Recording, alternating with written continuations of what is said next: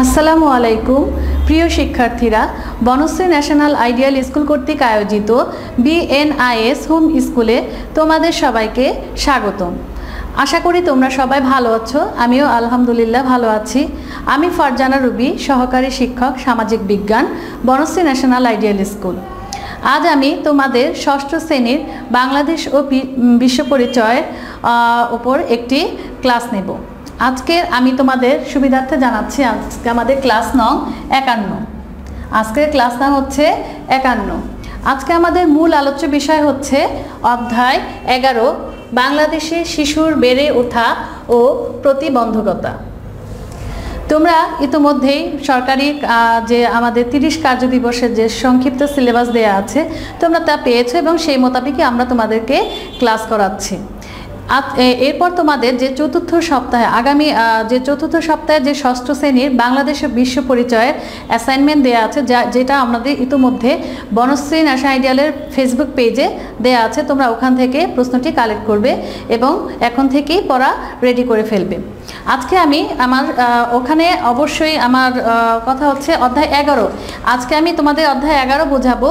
ওখানে তোমাদের দুটি অধ্যায় দেয়া আছে অ্যাসাইনমেন্টের জন্য, অধ্যায় এগারো এবং অধ্যায় তেরো, চতুর্থ সপ্তাহের অ্যাসাইনমেন্টের জন্য।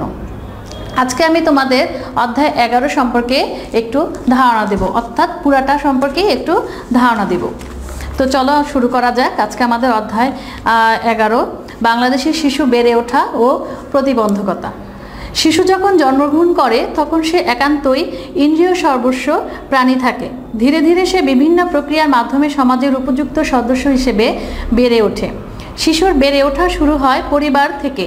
পরিবারের গণ্ডি পার হয়ে শিশুকে নতুন নতুন পরিবেশের সঙ্গেও খাপ খাওয়াতে হয়। নতুন পরিবেশ পরিস্থিতির সঙ্গে নিজেকে খাপ খাইয়ে চলার প্রক্রিয়ার নাম হচ্ছে সামাজিকীকরণ। তাহলে আমাদের সামাজিকীকরণ নিয়ে যদি কোনো কোশ্চেন থাকে, তাহলে যে সামাজিকীকরণ বলতে কি বুঝো? তাহলে আমরা যতটুকু বলেছি, এতটুকু লিখলেই তোমার সামাজিকীকরণের উত্তরটি হয়ে যাবে। তবে সমাজে বেড়ে ওঠার ক্ষেত্রে শিশুর বিভিন্ন ধরনের বাধা বা প্রতিবন্ধকতা রয়েছে। এসব প্রতিবন্ধকতার উত্তরণ অতি জরুরি। অন্যথায় ভীতিকর মানসিক বৈকল্য নিয়ে শিশুদেরকে বেড়ে উঠতে হবে। এই অধ্যায়ে আমরা সমাজে শিশু বেড়ে ওঠা ও বেড়ে ওঠার ক্ষেত্রে বিভিন্ন যে প্রতিবন্ধকতা অর্থাৎ বাধা, সে সম্পর্কেই আমরা জানব। এখানে আমাদের পাঠ একে রয়েছে সামাজিকীকরণ ও সমাজ জীবনের এর প্রভাব। সমাজে আমরা বিভিন্ন প্রক্রিয়ার মধ্য দিয়ে বেড়ে উঠি, সামাজিক জীব হিসেবে পরিচিতি লাভ করে থাকি। সমাজ থেকে আমরা যা শিখি, সেটা আমাদের আসলে সামাজিক শিক্ষা। এই শিক্ষার অন্তর্ভুক্ত হচ্ছে সমাজের নিয়ম, নীতি, মূল্যবোধ, বিশ্বাস, আদর্শ ইত্যাদি। এই প্রক্রিয়ার মাধ্যমে আমরা সমাজের শিক্ষা আয়ত্ত করে সমাজের উপযুক্ত সদস্য হিসেবে প্রতিষ্ঠিত হই, একে সামাজিকীকরণ বলা হয়। সামাজিকীকরণ সামাজিকরণ একটি জীবনব্যাপী প্রক্রিয়াও। শিশুর জন্মের পর থেকেই মৃত্যু পর্যন্ত এই প্রক্রিয়া চলতে থাকে। শিশু যখন জন্মগ্রহণ করে, তখন শিশুর প্রাথমিক অভাব পূরণ করে তার মা। এ কারণে মা শিশুর অনুকরণীয় আদর্শে পরিণত হয়। কিছুকাল পরে শিশু বাবা সহ অন্যান্য মানুষের উপস্থিতি উপলব্ধি করে এবং তার সামাজিক সম্পর্কে গণ্ডি আরও বিস্তৃত হয়। পরবর্তীতে শিশু প্রতিবেশী সমবয়সী খেলা ও পাড়ার সাথী পড়ার সাথী এবং ধর্মীয় প্রতিষ্ঠান সহ বিভিন্ন বাহনের মাধ্যমে সামাজিক জীবে পরিণত হয়ে থাকে। এভাবে শিশু আদর্শ, মূল্যবোধ, রীতিনীতি, দায়িত্ব, কর্তব্য সহনশীলতা ইত্যাদি গুণাবলী আয়ত্ত করে সামাজিক জীব হিসেবে ভূমিকা পালনে উৎসাহিত হয়। সমাজ জীবনে সামাজিকীকরণের প্রভাব অনেক। এই প্রক্রিয়ায় শিশুকে সামাজিক মানুষে পরিণত করে, সুস্থ ও সুন্দরভাবে বিকশিত হতে ও যোগ্য নাগরিক হিসেবে গড়ে উঠতে সহায়তা করে। শিশুকে সমাজের দায়িত্বশীল সদস্যে পরিণত হতে এবং সমাজের শান্তি শৃঙ্খলা বজায় রাখতে সহায়তা করে থাকে। এই প্রক্রিয়ায় শিশুকে সমাজের প্রত্যাশা অনুযায়ী আচরণ করতেও শেখায়।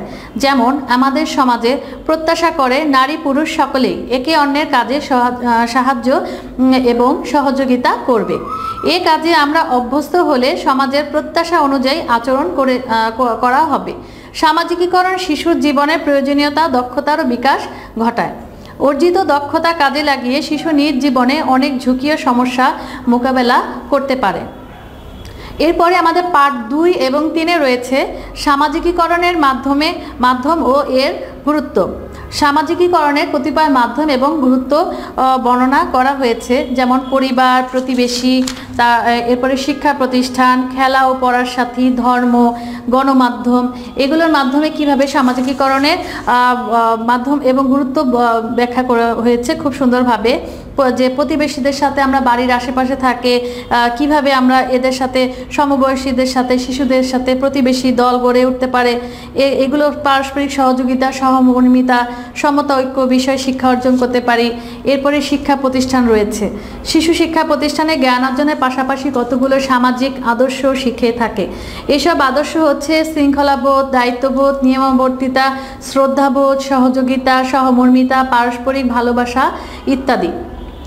শিক্ষা প্রতিষ্ঠানে বিভিন্ন কার্যক্রমে অংশগ্রহণ করে শিশু বৃহত্তম সমাজের আদব, কায়দা, আচার, আচরণ ও মূল্যবোধ শিখে থাকে। এরপরে রয়েছে খেলা ও পড়ার সাথে। শিশুর সামাজিকীকরণে খেলা ও পড়ার সাথে ভূমিকাও কম নয়। শিশু খেলা ও পড়ার সাথে সাথে মেলামেশা করে নেতৃত্বে গুণাবলী অর্জন করতে পারে। এরপর রয়েছে ধর্ম। ধর্ম হচ্ছে এক ধরনের বিশ্বাস যা নির্দিষ্ট কিছু আচরণ আচার অনুষ্ঠানের মাধ্যমে প্রকাশিত হয়ে থাকে। প্রতিটি ধর্মেরই মূল বিষয় হচ্ছে ব্যক্তিকে ন্যায় এবং কল্যাণের প্রতি আহ্বান করা এবং অন্যায় ও অকল্যাণ থেকে দূরে রাখা। এ বিষয়ে ধর্ম সম্পর্কে আরও অনেক আলোচনা রয়েছে। এরপরে রয়েছে গণমাধ্যম। জনগণের কাছে সংবাদ, মতামত বিনোদন ইত্যাদি পরিবেশন করার মাধ্যমকে বলা হয় গণমাধ্যম। গণমাধ্যমসমূহ যেমন সংবাদপত্র, ম্যাগাজিন, বেতার টেলিভিশন, চলচ্চিত্র সামাজিকীকরণের গুরুত্বপূর্ণ ভূমিকা পালন করে থাকে। এরপরে দেখো আমাদের পার্ট চার এবং পাঁচে রয়েছে শিশু শ্রমের ধারণা, কারণ ও প্রভাব। আমরা প্রায়ই লক্ষ্য করি অনেক শিশু বিদ্যালয় না গিয়ে বিভিন্ন ধরনের কাজ করে। আবার অনেক শিশু বিদ্যালয়ে পড়াশোনা করার পাশাপাশি বিভিন্ন রকম কাজ করে। তবে কোনো কোনো কাজ প্রায় প্রতিটি শিশুকেই করতে হয়, যা তার জন্য ক্ষতিকর নয়, বরং তা, তার ও তার পরিবারের ভালোভাবে জীবনযাপনের জন্য সহায়ক।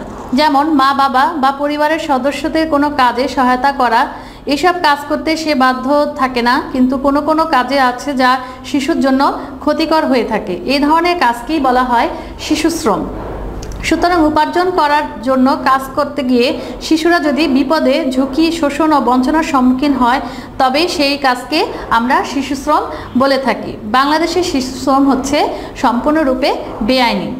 আমাদের দেশে অনেক শিশু অন্যের বাসাবাড়িতে সহায়তাকারী হিসেবে কাজ করছে। বাসাবাড়ির বাইরেও বিভিন্ন কলকারখানা যেমন চুরি, বিড়ি, ব্যাটারি, জুতা তৈরির কাজ করছে। বিভিন্ন রাসায়নিক দ্রব্য তৈরির কারখানা, লেদ ও ওয়েল্ডিং মেশিনেরও কাজ করছে। গাড়ি ও টেম্পুর সাহায্যকারী হিসেবে কাজ করছে। বর্জ্য ঘেটে তা থেকে প্রয়োজনে বিক্রয়যোগ্য জিনিসপত্র সংগ্রহ করছে। কিন্তু কেন শিশুরা এসব কাজ করছে, এর কোনো আসলে বিস্তারিত ব্যাখ্যা দেওয়া হয়নি। তবে শিশু সময়ের কারণ অনেক। অনেক অভিভাবক দারিদ্রতা আমাদের মূলত শিশু শ্রমটা ঘটে হচ্ছে আমাদের পরিবারের কারণে। তাদের পারিবারিক সদস্যরা অতি দরিদ্র থাকার কারণেই তারা মূলত শিশু শ্রমে অবশ্যই আহ, শিশু শ্রমের দিকে অবহেলিত হয়। তারা শিক্ষার আলো পায় না। তারা সম্পূর্ণরূপে পরিবারকে চালাতে চালানোর জন্য তারা ছোটবেলা থেকেই পরিবারের হয়ে বিভিন্ন কাজকর্মে নিজেদেরকে নিয়োজিত রাখে।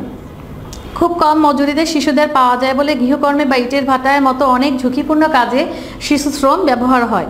এছাড়া বড় ধরনের প্রাকৃতিক দুর্যোগের কারণেও অনেক শিশু বিদ্যালয় থেকে ঝরে পড়ে এবং শিশু শ্রমিক হিসেবে কাজ করে। ছেলে ও মেয়ের শিশুর প্রতি অভিভাবকদের বৈষম্যমূলক আচরণের অনেক সময় মেয়ে শিশুকে, শ্রমিকে পরিণত করে। ঝুঁকিপূর্ণ শিশু শ্রম শিশুর শারীরিক ও মানসিক স্বাস্থ্যের ক্ষতিকর করে। এসব কারণে অপুষ্টি, অনিদ্রা, বিশ্রামহীনতা, জীবন শিশু শ্রমিকদের বিকাশে বাধাগ্রস্ত করে আমাদের জীবনের জন্য যা ক্ষতিকর, ঝুঁকিপূর্ণ, শ্রম থেকে নিজেদেরকে বিরত রাখব এবং অন্যদেরকেও বিরত থাকতে সহায়তা করব।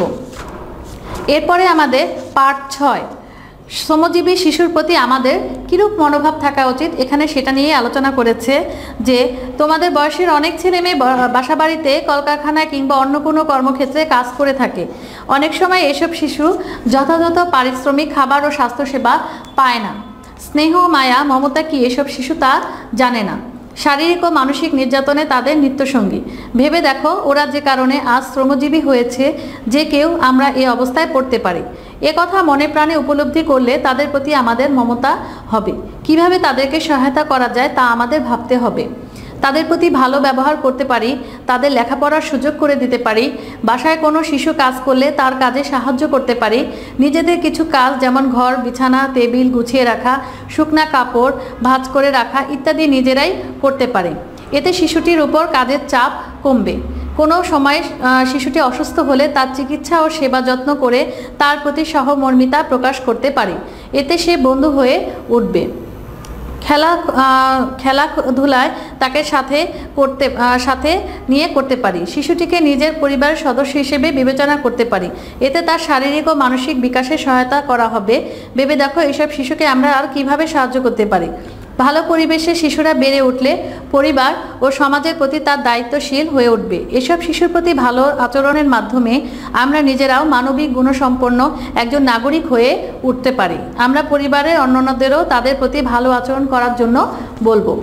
এরপরে পাঠ সাথে রয়েছে শিশু নির্যাতন, প্রকৃতি কারণ ও প্রভাব।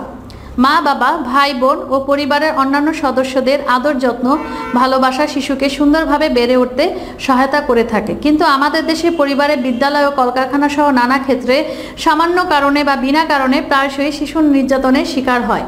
তাদের প্রতি উপ উপহাস, তিরস্কার গালমন্দ সহ শারীরিক ও মানসিক নানা অমানবিক ও নির্দয় আচরণ করা হয়। শিশুর প্রতি এরূপ বিরূপ আচরণ ও নির্যাতনকে শিশু নির্যাতন বলা হয়। এটি একটি গহিত কাজ। অনেক পরিবারে মা বাবা মনোমালিন্যের ঝগড়া ঝা- ঝাঁটি সহ বিভিন্ন বিষয়ে দ্বন্দ্ব ঘটে থাকে। এসব কারণে মা বাবার উভয়ের মনে সঞ্চিত রাগ, ক্ষোভ ও আবেগের বহিঃপ্রকাশ ঘটে ঘরের সন্তান কিংবা বাড়ির কাজে সহায়তাকারী শিশুর উপর। তাছাড়া মা বাবার বিচ্ছেদ, ছাড়াছাড়ির মতো ঘটনার কারণেও শিশুর নির্দয় আচরণের শিকার হয়। আবার শিশুরা কখনো কখনো বড় ভাই বোন বা আত্মীয় স্বজন দ্বারা কারণে অকারণে নির্যাতনের শিকার হতে পারে। অর্থাৎ আমরা এখান থেকে বিভিন্ন রকমের শিশু নির্যাতনের কারণগুলো পেয়ে থাকি এবং এগুলো কীভাবে বন্ধ করা যায় সেদিকে আমাদেরকে অবশ্যই নিজেদেরকে কাজে লাগাতে হবে যাতে আমরা এই শিশু নির্যাতন খুব তাড়াতাড়ি বন্ধ করতে পারি। শিশু নির্যাতন প্রতিরোধে শিশুর প্রতি আমাদের সবাইকে সচেতন আচরণ করতে হবে। ভবিষ্যৎ প্রজন্ম গড়তে হলে শিশুর অধিকারের প্রতি সকলকে সচেতন হতে হবে। শিশু নির্যাতনের প্রতিরোধে আমাদের সরকারও কাজ করছে। নির্যাতনের শিকার শিশুদের আইন সহায়তা, চিকিৎসা সেবা, পরামর্শ সেবা প্রদান করছে। তবে শিশু নির্যাতন প্রতিরোধে সামাজিক মূল্যবোধের উন্নয়ন জরুরি। এবং আমাদের সর্বশেষ পাঠ হচ্ছে আট এবং নয়। শিশু পাচার কারণ ও তার প্রতিরোধ। আমরা মাঝে মাঝে খবর, কাগজ বা পোস্টারে কিংবা মাইকের ঘোষণা থেকে শিশু হারানোর বিজ্ঞপ্তি, কথা জানতে পারি। এসব শিশু কীভাবে হারিয়ে হারায় কিংবা কোথায় যায়, তা নিয়ে আমাদের মনে নানা প্রশ্ন জাগে। হারিয়ে যাওয়া শিশু অনেক সময় পাচারও হয়ে যায়। বা শিশু পাচার মানবাধিকার বিরোধী কাজ। শিশু পাচার হলো এক ধরনের অনৈতিক কাজ যার সাথে সংশ্লিষ্ট ব্যক্তি বা ব্যক্তিবর্গ বাণিজ্যিক উদ্দেশ্যে শিশুকে লক্ষ্যচক্ষুর অগোচরে এক স্থান থেকে অন্য স্থানে প্রেরণ করে থাকে। এটি মানব পাচারের অন্তর্ভুক্ত। নানা ধরনের কৌশলের মাধ্যমে শিশু পাচার হয়ে থাকে। যেমন, আদরের ছেলে লোভ দেখিয়ে শিশু পছন্দ করে এমন বস্তু দেখিয়ে বা দেওয়ার দেওয়ার আশ্বাস দিয়ে শিশুকে পাচারকারী নিজেদের আয়ত্তে নিয়ে আসে। কখনো কখনো ভয় দেখিয়ে মিথ্যা বলে অথবা জোরপূর্বক শিশুকে অপহরণ করে পাচার করা হয়। আবার কখনো কখনো সমবয়সী বন্ধু সহপাঠীকে ব্যবহার করেও এ ধরনের কাজ করা হয়। পাচারকারী শিশুদেরকে মরুভূমিতে উটের জকিসহ বিভিন্ন অমানবিক কাজে ব্যবহার করা হয়। পাচারকারীদের কখনো কখনো শিশুদেহের বিভিন্ন অঙ্গ প্রত্যঙ্গ সংগ্রহ করে তা আবার বিক্রি করে থাকে। নানা কারণে শিশু পাচার হয়। দরিদ্র মা বাবার সন্তান লালন পালনে অক্ষমতা মা বাবা ও অভিভাবকদের সচেতনতার অভাব, চাকরির আশায় পাচারকারীদের হাতে তুলে দেওয়া অভিভাবকহীন শিশুদের অসহায়ত্ব শিশুর পাচারের অন্যতম কারণ। শিশু পাচার হলে হয়ে গেলে তাদের শারীরিক ও মানসিক স্বাস্থ্য মারাত্মকভাবেই ক্ষতিগ্রস্ত হয়ে থাকে। শিশু নানা অপরাধে জড়িত জড়িয়ে পড়তে পারে। এই বিষয়ে মা, বাবা, আত্মীয় স্বজন, পাড়া প্রতিবেশী সহ সকলকে সতর্ক ও সচেতন থাকতে হবে। এছাড়াও বিদ্যালয়, মসজিদ, মক্তব ইত্যাদি প্রতিষ্ঠানের শিক্ষকদের সতর্ক হতে হবে এবং নিজ নিজ প্রতিষ্ঠানের শিক্ষার্থীদের সচেতন করতে হবে। শিশু পাচার প্রতিরোধে আমাদের করণীয় অনেক। পাচার প্রতিরোধে আমরা যা যা করতে পারি তা হচ্ছে দূরে কিংবা নির্জন স্থানে কখনো একাকী যাবে না, যাব না। অপরিচিত ব্যক্তির দেওয়া কোনো খাবার, খেলনা বা অন্য কোনো কিছু গ্রহণ করব না। অপরিচিত বা সামান্য পরিচিত কোনো ব্যক্তির সাথে কোনো স্থানে যাব না। প্রলোভনকারী সম্পর্কে সতর্ক থাকব। পাচারকারী পাচারকারীরা আমাদের আশেপাশেই রয়েছে, তাই পাচারকারীর কৌশলগুলো সম্পর্কে আমরা নিজেদের যেমন সতর্ক হব এবং অন্যদেরকেও এই বিষয়ে সতর্ক করব। প্রয়োজনে যথাযথ কর্তৃপক্ষকে জানাব। তো প্রিয় শিক্ষার্থীরা, আজকে আমরা অধ্যায় এগারো বাংলাদেশের শিশুর বেড়ে ওঠা ও প্রতিবন্ধকতার যে পাঠগুলো রয়েছে, সে সম্পর্কে আমরা বিস্তারিত আলোচনা করলাম। এটা অবশ্যই তোমাদের চতুর্থ সপ্তাহে অ্যাসাইনমেন্টের অধ্যায় এগারো তে কাজে লাগবে এবং অধ্যায় তেরো রয়েছে। আজকে তাহলে এ পর্যন্ত। সবাই তোমরা ভালো থাকবে। আল্লাহ হাফেজ।